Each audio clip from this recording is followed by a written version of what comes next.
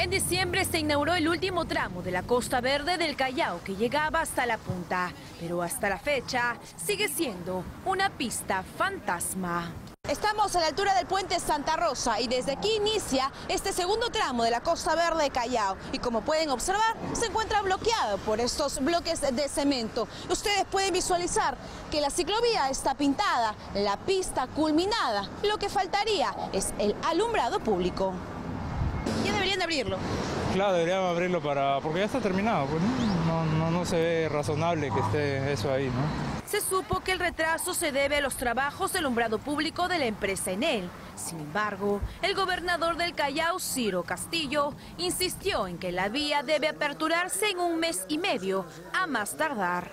En el trámite que estamos haciendo con Enel, hemos, les hemos pedido que aceleren lo más que puedan y probablemente en un mes, mes y medio, ya vamos a tener este contrato que debieron hacerlo oportunamente. En el Callao existe otro proyecto importante para el sistema de transporte. Se trata de la futura vía expresa Santa Rosa, que durante el gobierno de Francisco Sagasti y mediante la modalidad de gobierno a gobierno, se adjudicó a Francia.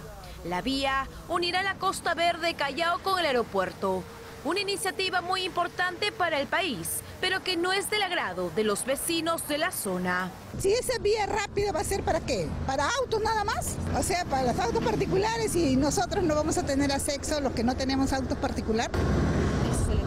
Ah, no, pues si es así, no, pues no. El rechazo de algunos vecinos llegó a oídos del gobernador Ciro Castillo, quien propuso una modificación a este megaproyecto. Nosotros los chalacos tenemos que sacarle ventaja a este hecho. ¿Cómo? A través de líneas alimentadoras. No hacer de que el puente sea, pues, Directo. como le repito, directo y una garrocha que, que bypasee el Callao. Queremos que el Callao sea destino turístico. Otro proyecto importante que está sumamente retrasado es el de la línea 2 del Metro de Lima. Tenemos que pensar en la extensión de esta línea a través de alimentadores o a través de lo que vamos a proponer oportunamente, técnicamente además, para que esto, para que nuestros pobladores de Ventanilla, de, eh, la parte de Pachacute, etcétera, puedan también ser favorecidos con estos avances de la, de la línea 2. Ciro Castillo asegura que sus propuestas serán evaluadas por profesionales para presentarlos finalmente ante el Ministerio de Transportes y Comunicaciones.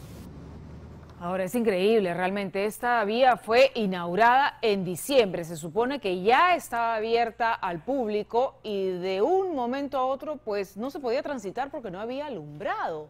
¿Qué pasa con Enel? ¿Qué pasa con Enel que no puede cumplir con poner luz a esta vía? Ojalá, ojalá sea muy pronto. Un grupo de vecinos de San Martín